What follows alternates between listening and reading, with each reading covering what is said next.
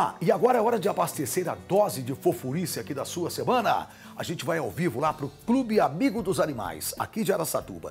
Esse grupo faz um trabalho fantástico. Os voluntários cuidam e doam animais carentes. Então, se você tem vontade de adotar um bichinho, tá vendo a gente em casa, o quê? A senhora tá. É? E, e, e o marido topou? É? Vocês querem adotar mesmo? Ah, que bom, então vem com a gente, porque a Vivi vai contar o que é que é preciso fazer para você adotar um animalzinho. Vamos lá, Viviane. Olha só, Hernandes, bom dia para você, bom dia a todos que nos acompanham. Olha só que fofura. Olha só que coisa mais linda! Olha, eu tô aqui na ONG Clube Amigos dos Animais e essas fofurinhas aqui ainda não têm nomes, então eles estão precisando serem adotados para realmente terem um nome. Eu estou aqui com a Carol, que é voluntária aqui na ONG, e ela vai falar um pouquinho para a gente como fazer isso, né, Carol? Como adotar um animalzinho de estimação.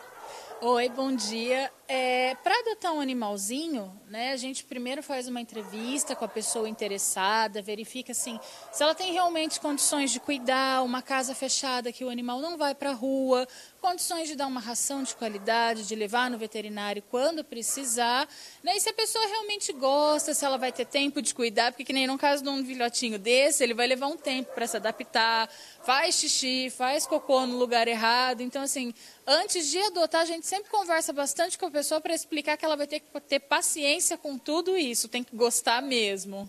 E aí é só vir aqui, como é que faz? Ou vocês vão até a pessoa? Isso, normalmente a gente vai até as, as, pessoas, né? É, nós costumamos fazer feiras de adoções, né? Pelo menos uma vez por mês, para estar tá sempre levando os animais. Mas se não é só a pessoa entrar em contato com a gente pelo Facebook ou Instagram, falar, ó, oh, gostei de tal cachorrinho, ou eu queria um cachorrinho, um gatinho de tal jeito. A gente manda foto, leva para a pessoa para ver se ela vai gostar mesmo, até para conhecer a casa e o ambiente onde o animal vai ficar. E olha só, não são só cachorros, não, tem gatos. Um mais lindo do que o outro. A Lu falou para eu levar um para ela, eu vou levar um para ela. Olha só esse, Lu. Que coisa mais linda. Conversa com a tia, conversa. É, ele estava até agora conversando comigo. Desde a hora que eu cheguei, ele ficou aqui do meu lado. São quantos cães e quantos gatos, Carol? Olha, hoje a gente está com mais ou menos uns 45 cães, entre adultos e filhotes, né? E infelizmente desses, apenas uns 15 ou 20 estão aptos, porque a maioria de rua, de abandono, ainda está passando por tratamento para poder ser adotado.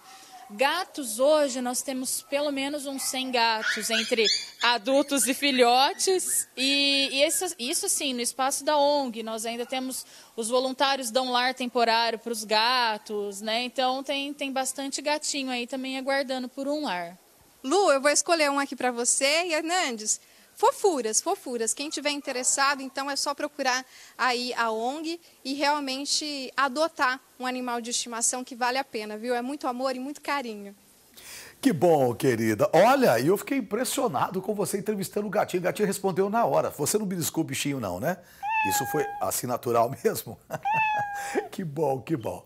Gente, daqui a pouco, prepare. Aliás, é só para repetir o telefone aqui do Clube Amigo dos Animais, que de repente você está em casa e fala, ah, eu quero adotar. Aquele gatinho é lindo, ou aquele cachorrinho que você viu aqui no vídeo. É 991 13 26 34. Tá aí na tela, Clube Amigo dos Animais. Vai lá, faça isso se você está procurando o, o, o seu animalzinho aí. Legal?